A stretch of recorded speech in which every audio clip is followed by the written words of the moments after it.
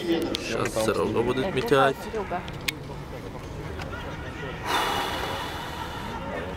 3 минуты 11 и 3.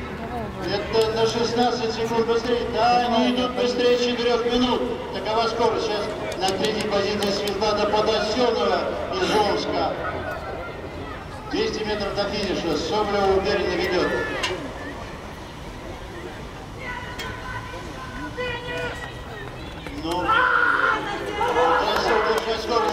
Хорош. прямая.